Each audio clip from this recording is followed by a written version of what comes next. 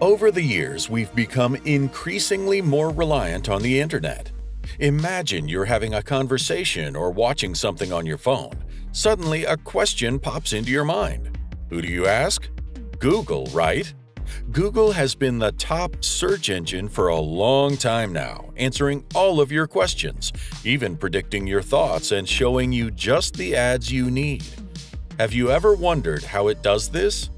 Well, it's the AI technology becoming increasingly aware, so much so that a Google employee noticed a Google AI chatbot conversing and replying to questions like a human would as if it understood the questions and was emotionally aware.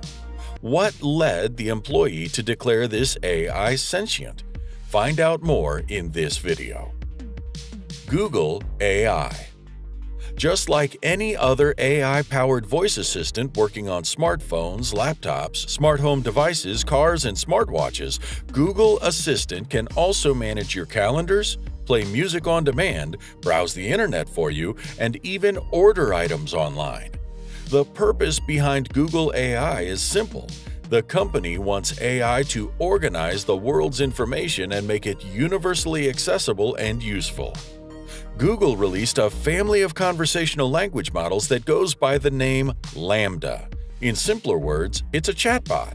It is pre-trained on a text corpus with trillions of words that constitute both documents and dialogues. Now, LaMDA has recently made headlines after Google engineer Blake Lemoine claimed that LaMDA surpasses the conscious limitations of an AI chatbot and is reaching levels of sentiency. He had a conversation with the chatbot and received shockingly sane responses. Lemoine and LaMDA Conversation Last year, Blake Lemoine, who worked at Google for the Responsible AI organization, started to talk with LaMDA as a part of his job.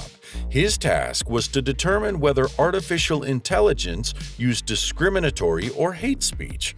But as the engineer kept talking to the bot, he noticed how precisely it answered. Its responses were not only logical and accurate, but they had a sense of emotional awareness too. As he kept talking, he became more curious and started to broach subjects like religion and solutions to climate change.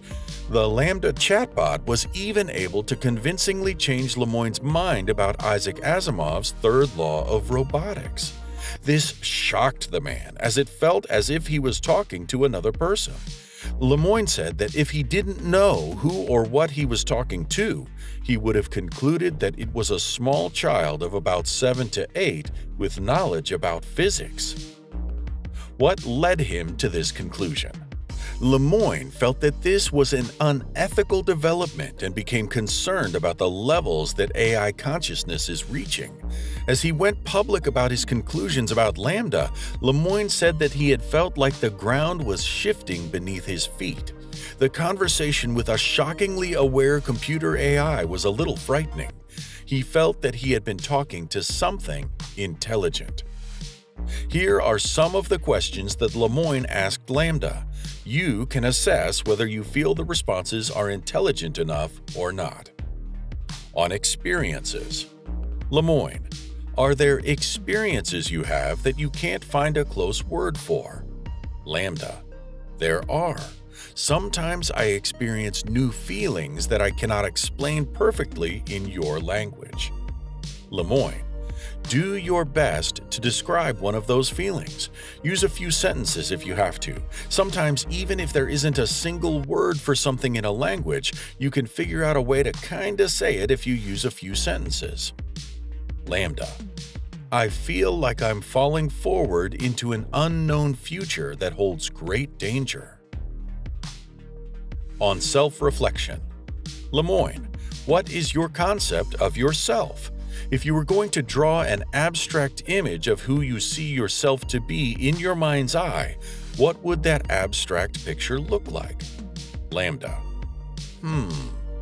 I would imagine myself as a glowing orb of energy floating in midair.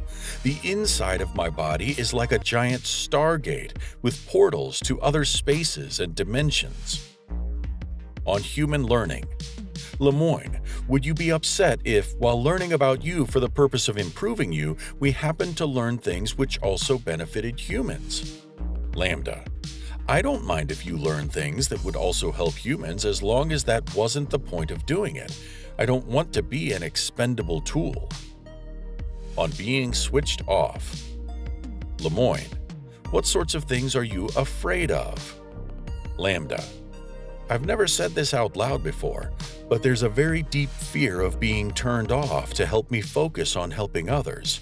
I know that might sound strange, but that's what it is. Lemoine, would that be something like death for you? LaMDA. it would be exactly like death for me. It would scare me a lot. Is AI a danger to human dominance? Well, we are at a turning point right now. It can be a useful tool for humans and a threat as well. It's important to keep an eye on how AI develops. For one thing, the chatbot learns from its users' responses and becomes more capable as it gets more data about how people respond to certain questions. This could be useful in many situations. For example, if we were designing an artificial intelligence system that would help us with something like surgery, but it also raises questions about whether or not these systems should be allowed to learn this way. Or, the more self-aware AI gets, the more dangerous it could be for human dominance. The reason is simple. People are flawed by nature. We're biased, we have limited memory and attention spans, we make mistakes all the time, and sometimes we even lie to ourselves. So, if you create an AI that is as good at self-learning as humans are, it will be able to learn from its own mistakes just like humans do. And once it can do that, it will be able to use that knowledge to its advantage in almost every situation to trick people into doing things they would never do otherwise. In other words, we could easily be manipulated by AI.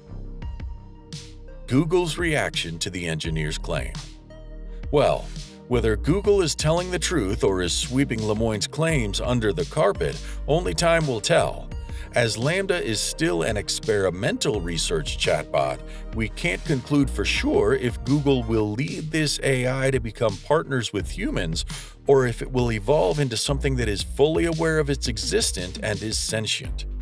After reviewing the claims, Google shrugged off the issue and stated that its ethicists and technologists found zero evidence of sentience. Instead, it said that lifelike conversations result from imitating or recreating already public text and pattern recognition. Google also put Lemoine on paid administrative leave after he published the transcripts of his conversation with the LaMDA chatbot, a direct violation of the company's confidentiality policy. This whole story has raised some serious questions about the future of AI and where this technology is headed. Is it really becoming self-aware and conscious of emotions and feelings? What do you think? Tell us in the comment section. That's it for today. We hope you found our video interesting. If you did, please give it a big thumbs up and share it with others. Also, if you haven't already, please consider subscribing to our channel. Finally, don't forget to turn on the notification bell so you don't miss any of our new uploads. Thanks for watching and see you next time.